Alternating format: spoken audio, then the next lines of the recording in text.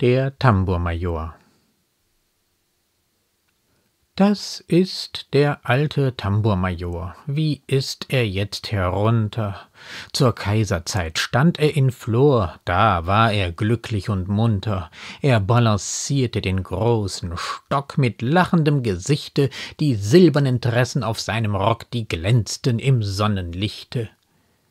Wenn er mit Trommelwirbelschall einzog in Städten und Städtchen, da schlug das Herz im Widerhall den Weibern und den Mädchen. Er kam und sah und siegte leicht wohl über alle Schönen, sein schwarzer Schnurrbart wurde feucht von deutschen Frauentränen. Wir mussten es dulden, in jedem Land, wo die fremden Eroberer kamen, der Kaiser die Herren überwand, der Tambourmajor die Damen. Wir haben lange getragen das Leid, geduldig wie deutsche Eichen, bis endlich die hohe Obrigkeit uns gab das Befreiungszeichen.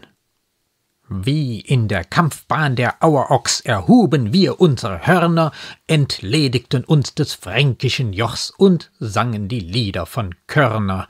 Entsetzliche Verse, sie klangen ins Ohr gar schauderhaft den Tyrannen, der Kaiser und der Tambourmajor, sie flohen erschrocken von dannen.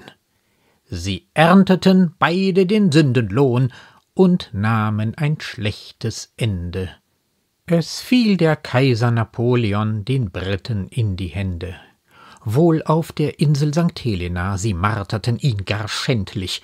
Am Magenkrebse starb er da nach langen Leiden endlich. Der Tambourmajor, er ward entsetzt gleichfalls von seiner Stelle. Um nicht zu verhungern, dient er jetzt als Hausknecht in unserm Hotelle. Er heizt den Ofen, er fegt den Topf, muss Holz und Wasser schleppen, mit seinem wackelnd greisen Kopf keucht er herauf die Treppen.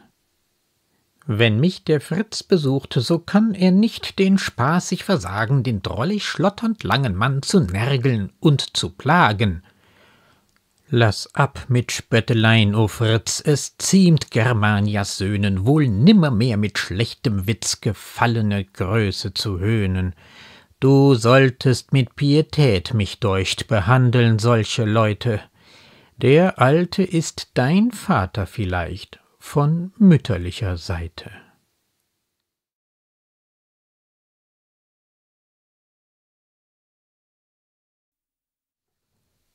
Der Tambourmajor Heine erteilt mit diesem Gedicht von Frankreich aus den Deutschen eine herrlich boshafte Geschichtsstunde. Das ist der alte Tambourmajor, zur Kaiserzeit stand er in Flor. Die Kaiserzeit, die Heine meint, ist nicht die deutsche, sondern die kurze französische unter Napoleon. Er balancierte den großen Stock, die silbernen Tressen auf seinem Rock, die glänzten im Sonnenlichte. Ein Tambourmajor paradiert mit geschmücktem Stab der Militärkapelle voran und ist alles andere als ein Major. Wir kennen einen solchen Tambourmajor auch als den Gegenspieler Wojciechs aus dem gleichnamigen Drama, wo er auch als Frauenverführer erscheint. Wenn er einzog in Städten und Städtchen, da schlug das Herz im Widerhall den Weibern und den Mädchen einzog der Tambourmajor zusammen mit der französischen Armee. Deutsche Fürstentümer waren besetzt und zum Teil in französische Satellitenstaaten umgewandelt. Das Königreich Westfalen beispielsweise wurde sogar neu geschaffen, um auf deutschem Boden mustergültig bürgerorientierte Verwaltung und Justiz vorzuführen, das die traditionelle feudale Ordnung ersetzt. Er kam und sah und siegte leicht. Das berühmte Cäsar-Zitat wohl über alle Schönen. Wir mussten es dulden, in jedem Land, wo die fremden Eroberer kamen, der Kaiser die Herren überwand, der Tambourmajor die Damen. Wird hier das Kriegsklischee repetiert? Die feindliche Armee siegt, um sich dann der Frauen zu bemächtigen? Es wird nur vordergründig so getan, denn die Herren sind auch in dem Sinne überwunden, dass sie eine neue Staatsordnung genießen durften, die mehr persönliche Freiheiten bedeutet, und die Damen wurden eben von der Unwiderstehlichkeit des Tambourmajors überwunden. Ob das beiderseits den historischen Tatsachen gerecht wird, soll hier nicht zur Debatte stehen. Wir haben lange getragen das Leid, geduldig wie deutsche Eichen, Das Leid, das zu tragen war, ist hier das der deutschen Männer, die mit ansehen mussten, dass die Franzosen solchen Erfolg bei den Frauen hatten. Wie in der Kampfbahn der Auerochs erhuben wir unsere Hörner. Statt eines Stieres, der sich erhebt, einen Auerochs zum Vergleich heranzuziehen, klingt nicht unbedingt schmeichelhaft. Die Hörner erinnern hier auch zu sehr an gehörnte Ehemänner entledigten uns des fränkischen Jochs und sangen die Lieder von Körner. Theodor Körner war Soldat in den Befreiungskriegen und vor allem Dichter aufpeitschender Kampflieder. Entsetzliche Verse, sie klangen ins Ohr gar schauderhaft den Tyrannen. Entsetzlich fand Heine seine Verse vor allem in künstlerischer Hinsicht. Der Plural Tyrannen ist hier herrlich irreführend. Man könnte glatt an die deutschen zahlreichen Fürsten denken, denen nach den Befreiungskriegen die alte feudale Macht wiederhergestellt wurde. Der Kaiser und der Tambourmajor, sie flohen erschrocken von dannen. Die Tyrannen sollen hier also Napoleon und der Tambourmajor sein. Es wird ironisch angedeutet, dass man so schrecklich nicht unter ihnen gelitten hatte, und gegen solche Tyrannen richten sich also diese Lieder und nicht etwa gegen die Tyrannen der Restauration, also der wiederhergestellten feudalen Ordnung auf deutschem Boden. Sie ernteten beide den Sündenlohn und nahmen ein schlechtes Ende. Es fiel der Kaiser Napoleon den Briten in die Hände.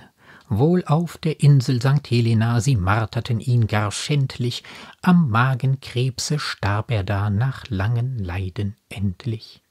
Inwieweit Heine andeuten wollte, dass Napoleon, der immerhin Krieg über ganz Europa brachte, ein unverdientes Ende fand, sei dahingestellt.